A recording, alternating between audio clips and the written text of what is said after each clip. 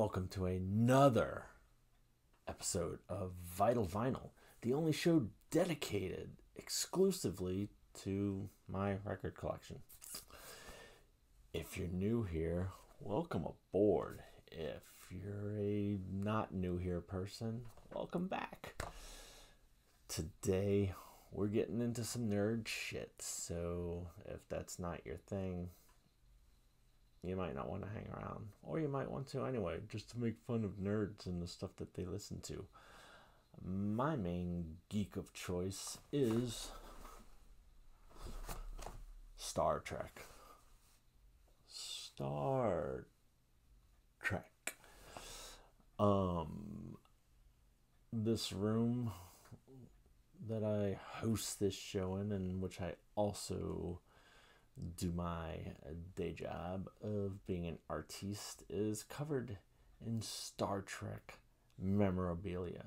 Maybe I'll go through a tour of that. Maybe I won't. Probably will. And today we are discussing the albums that I have, though. So let's get right into that. So,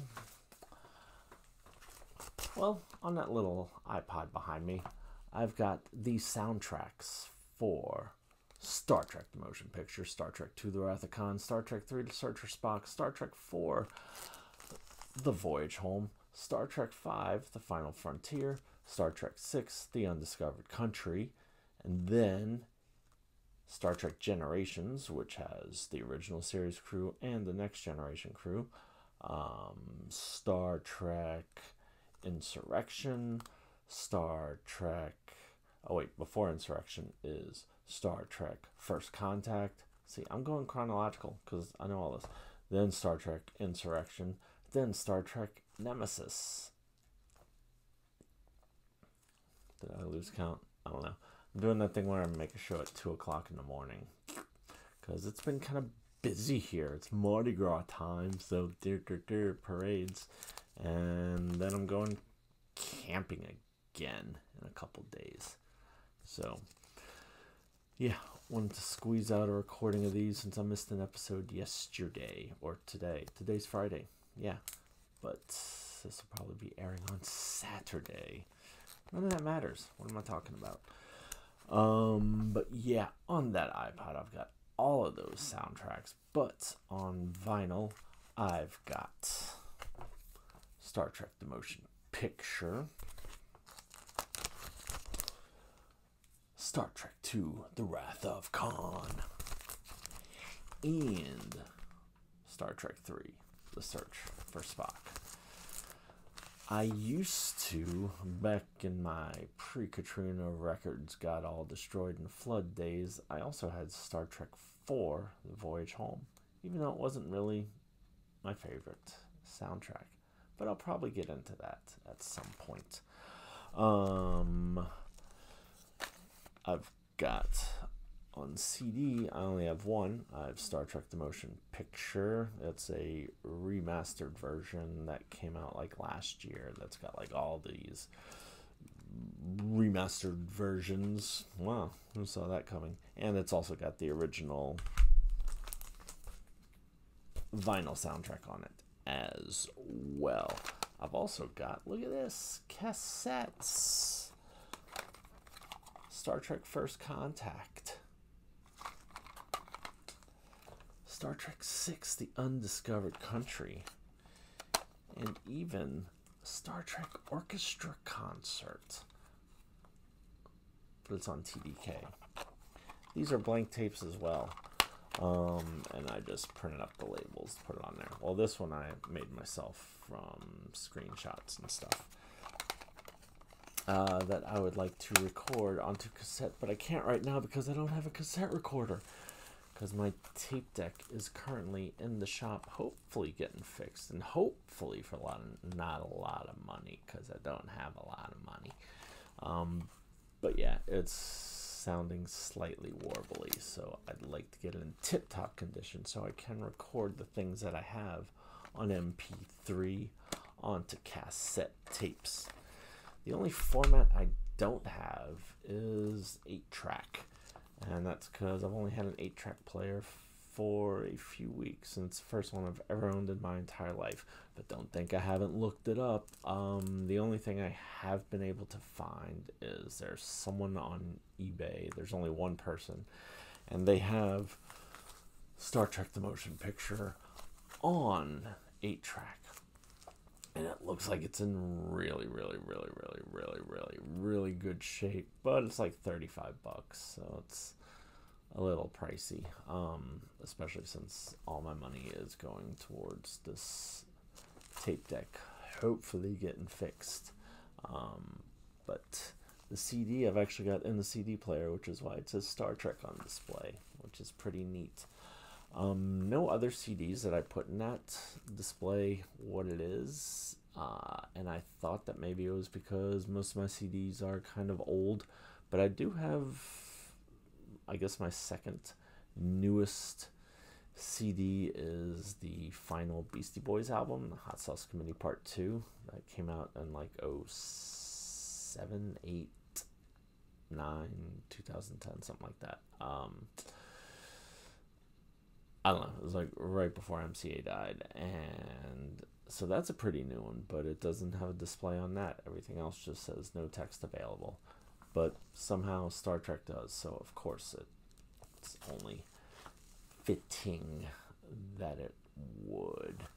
Um, yeah, I don't think I'm gonna go around and give a tour of everything that I have Star Trek hanging up in this room but I do have figures. I guess I'll just discuss it. Or, you know what? Maybe I will show. There we go, gang.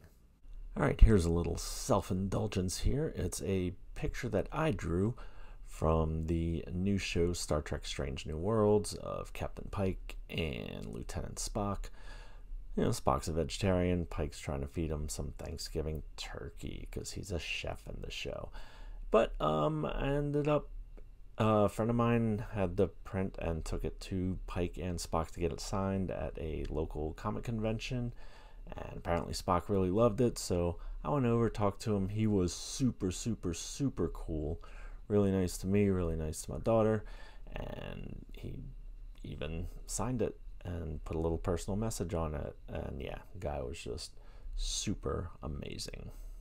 Here's my little Wrath of Khan setup. Got the figures from the movie Admiral Kirk, Captain Spock, Lieutenant Saavik, Khan, Noonien, and Singh. Got the Enterprise. Got the Reliant that Khan and his crew take over. Pretty awesome. At least I think so. But then it gets a little sad. Because, um, you know, spoiler alert Spock dies in the engine room which cuts to this right here a little pop figure display Admiral Kirk and Spock in their last moments together. Um, yeah, wife got me that for a present for some occasion or other. And then she also got this. Oh, look at that. It's got little love, but with the Star Trek symbol in it. Then here are the posters that I have um, movie size posters, like 24 by 36. Got one for the TV show. Got one for the motion picture. Got some little Pez dispensers with the original series crew. Got the Enterprise firing on the Millennium Falcon. Take that, Star Wars fans, because um, that's a clock that she got me. That's made out of a record, and I'm not sure it's really showing up, but they etched out the Enterprise and the Reliant fighting each other, also from Star Trek 2. Here's a hockey jersey that I have that I think is awesome. Poster for Wrath of Khan, poster for Search for Spock, poster for Voyage Home. Oh, but wait, there's more. If you call now, you'll see my communicator and my phaser. Don't worry, it's set on stun. So, yeah. Um, there's more stuff around the house too. But that's just kind of scratching the surface. It's my thing. So, let's see. The first Star Trek album that I ever bought was for Star Trek 4, The Voyage Home. Wasn't really, or I guess I'm not really too big a fan of that soundtrack. I was looking originally for. I guess I should just hold these up. I was originally looking for Khan soundtrack because I loved it. I thought it sounded amazing, and I had this idea in my head of doing an animated Star Trek show that I was just going to do stop motion frame animation drawing one page at a time and i guess doing all the voices myself. Um, when i was in eighth grade with my parents camcorder. Luckily i gave up on that because i would probably still be working on it now and be maybe about an hour and a half into it because that's how slow animation works especially if you're doing everything yourself.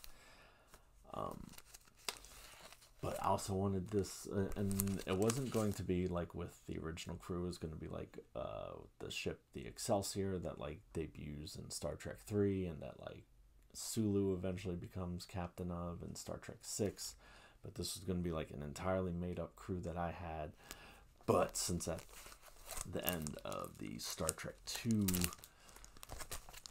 soundtrack, there is a voiceover of Leonard Nimoy doing the space, the final frontier thing, and I was gonna have that be in it, even though that wouldn't make sense because he says these are the voyages of the Starship Enterprise, and my show is gonna be about the Excelsior. So, but I don't know.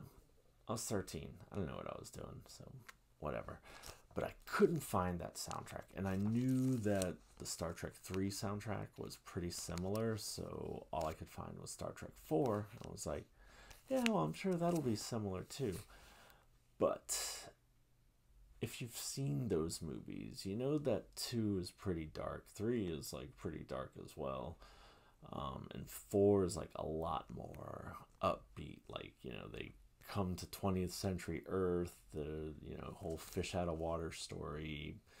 Um, know, it's a fun and funny little romp through time, and the soundtrack is a lot more upbeat and whimsical. So yeah, it wasn't really what I was looking for. But I did call around two record stores all around New Orleans and even in surrounding parishes and I found a place. I don't know, like about a 20 minute drive. Um, but to me, like, that was insanely long. And my mom brought me out there, and I got the vinyl copy of Wrath of Khan. And I was so happy, even though, yeah, I was listening to punk rock stuff, but I was like a closeted Trekkie because you could be into comics, but being a Trekkie was not a cool thing. It still isn't like Star Wars is cool and Marvel stuff is cool, but yeah, Star Trek just never really caught on popularity wise. But you know what? That makes it pretty fucking punk rock. So, um, do a lot of fart noises. I don't know why. Um. So yeah. I I guess I just had two and four on vinyl back then. But then when I was rebuilding, I got one, two, and three because, like I said, three is pretty similar to two, and one is just a really good album as well. The movie itself is pretty long and boring and tedious, and they're trying to make it like 2001 Kubrick style, slow and big and boom. But the music, the soundtrack is pretty freaking cool. I love it. Um, and and let's just look at the format. Let's let's look at the stuff you get in it. Okay. So on the back, you got the crew of the Enterprise. Let's see what's going on on the inside. Well, all right. I did a thing where I put my records in the anti-static sleeve, but the sleeve that it originally came in. Dude, you got scenes from the movie. Pretty cool. Then on the other side of the sleeve, you got like all these crazy aliens that aren't even like regular typical Star Trek aliens, just like these things that were in the movie.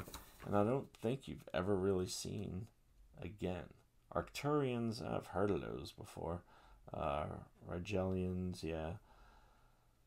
But they never really showed any of these. Unless it was maybe in the background. But yeah. So you got like all these cool alien dudes. Oh, looks like there's another insert. Let's take a look at it. I thought it was a different one. Ah, you got a mini poster of the Enterprise flying through space. That's pretty damn cool. Now, I do have another copy of this, but the record is just like scratched to shit. But I think it's got this poster too, so maybe I'll frame it and hang it one day. I believe there is a third insert. I remember it, but I can't. Ah, there it is. There it is. If you like that last one with the poster, you can order more posters. You can get the Enterprise flying through space. You can get one with like this creepy like alien moon or planet with the Enterprise flying overhead. And then you've got this one with an exploded view to where you can see different decks and quarters and all that stuff. And yeah. I think it's cool. And you should too. But if you don't, hey, that's fine. We're an inclusive and diverse and welcoming show here. So, we accept all kinds of people, regardless of political affiliation, race, religion, gender, sexual orientation, or even whether or not you like Star Trek. I guess. I guess we'll accept you too. Star Trek 2, not a whole lot in the way of bonus things, but I guess you don't need that whenever you got such a kick ass soundtrack. Let's see, yeah, the original insert is just an Atlantic thingy. And even the label is just the generic red and green with the white stripe across it.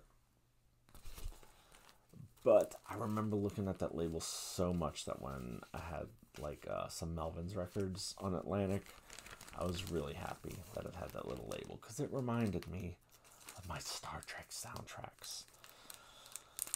And I listen to these things pretty much every day.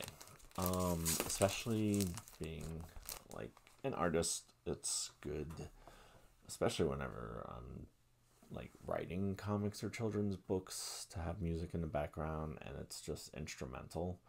So I'm not like having, you know, words of lyrics get in my head when I'm trying to come up with words of a story because that to me is a bit of a distraction. So that's where the soundtracks come in handy.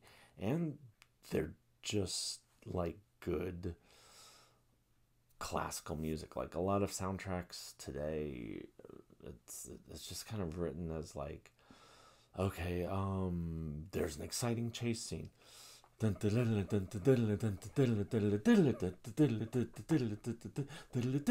And then just that for like three minutes. But like these are actual, you know, composed pieces of music. So I think it's cool. And douchebag admission time. I remember when I was about 14, 15, right when I was starting to drive, and I had a crush on this girl that I'd gone to elementary school with also, and then she had transferred to my high school. And I I had in my head that like we'd be going out you know, driving around like in my mom's car and and I was just going to be humming the music to the Star Trek 2 soundtrack and then I'm in my head she would say, "Oh, what's that you're humming?" cuz you know, that's what people do and then I would be like, "Oh, that it's just something, you know, uh for um a, a classical music piece that I'm composing, you know, whatever, which is just so douchey and awkward and cringy.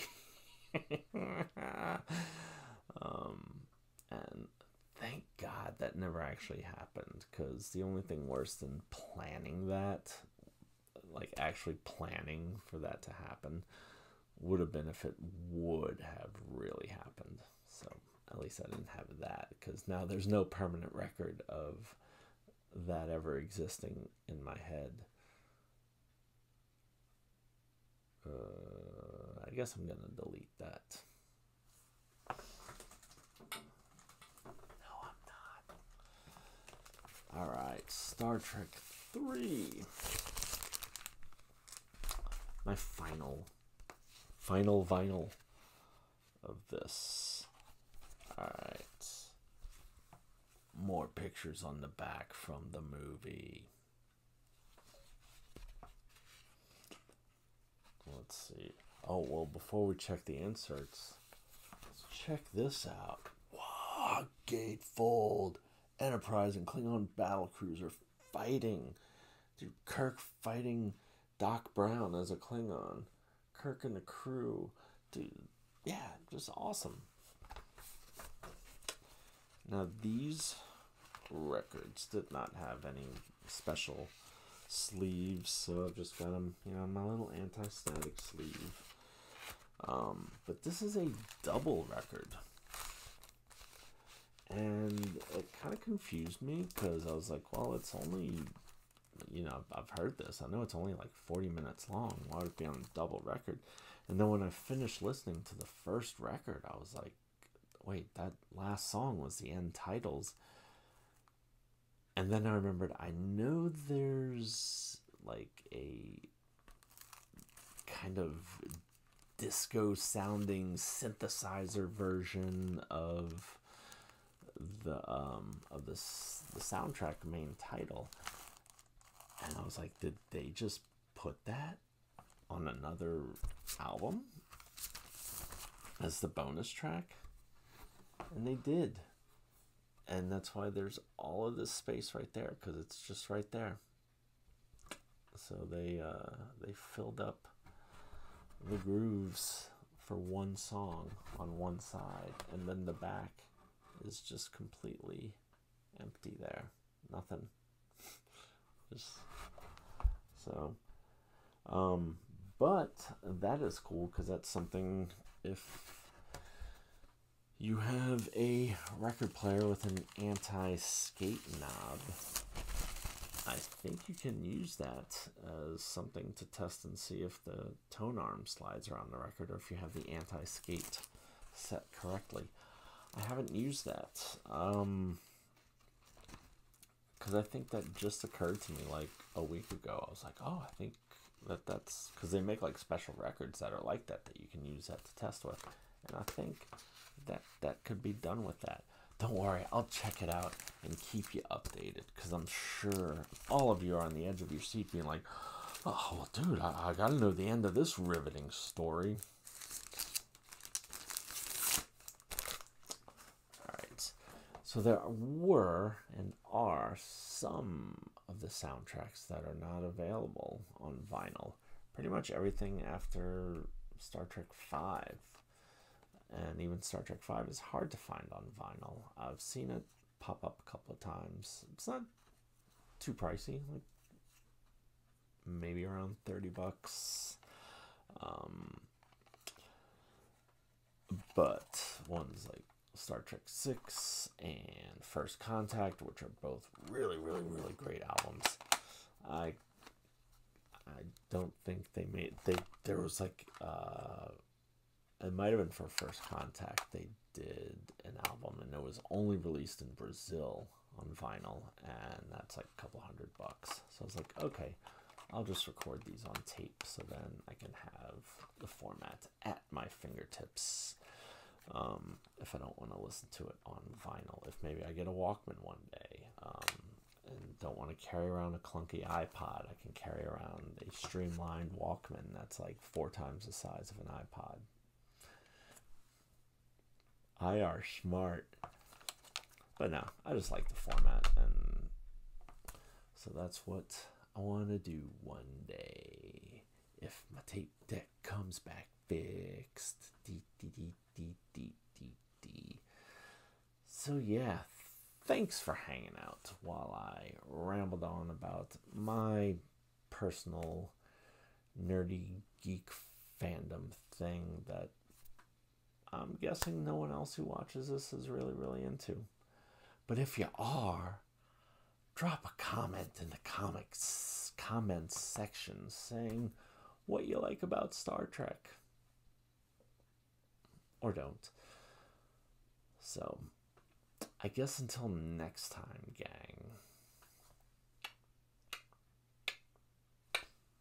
Live long and prosper.